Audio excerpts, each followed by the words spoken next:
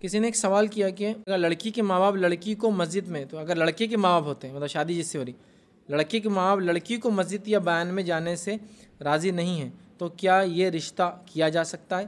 اور اس وجہ سے ماں باپ راضی نہیں ہیں مطلب لڑکے کے ماں باپ راضی نہیں ہے لڑکی جس سے شادی کرنا چاہ رہے ہیں کہ وہ لڑکی مسجد جائے یا بیانات میں جائے کس کی جگہ، تو کیا یہ نکاح درست ہے دیکھیے میں کہوں گا یہ ایسے مسائل ہوتے ہیں جن کو آپ کو بیٹھ کر سارٹ آؤٹ کرنے کی ضرورت ہے کہ کیوں نہیں جانے دینا چاہتے؟ اگر ان کا اکنامیکل کوئی ایشو ہے، جانا آنا بہت دور ہے گھر میں، آپ بچی ضد کر رہی کہ یہاں لا کے چھوڑنا ہے سنڈے کو درس میں آئر سی تو شادی کرنا وہاں اور اس کے لیے بیچارے کے لیے پاسبل نہیں ہے، تو ایک الگ بات۔ ہے لیکن اگر وہ کچھ عقیدے کا مسئلہ ہے یا ایسا کوئی تعصب والا مسئلہ ہے جو کسی قرآن سنت کے ماننے والوں سے ہوتا ہے تو یہ چیز کو بیٹھ کر سارٹ آؤٹ کرنے کی ضرورت ہے۔ تو یہ مسئلہ صرف کہیں درس میں آنے اور مسجد جانے کا نہیں، یہ مسئلہ پھر بہت ساری چیزوں پہ آپ کی پابندی لگا دیں گا شادی کے بعد۔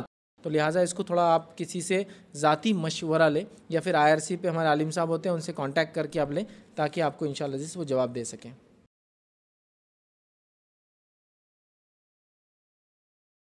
السلام علیکم۔ آپ بھی ہمارے اس کام میں تعاون کریں، اپنی زکات و صدقات کے ذریعے۔ ڈونیشن ڈیٹیلز کے لیے ڈونیٹ اس پر کلک کریں۔ اگر آپ کو ہماری ویڈیوز پسند آئے ہیں، تو اسے شیئر کریں اور سب کے حقدار بنیں۔ روزانہ ہماری ویڈیوز کو پانے کے لیے ہمارے یوٹیوب چینل کو سبسکرائب کریں اور بیل آئکن دبائیں۔ ہم سے دیگر سوشل میڈیا پر جڑنے کے لیے ویڈیو میں دیے گئے آئی ڈی کو سرچ کریں۔ جزاک اللہ۔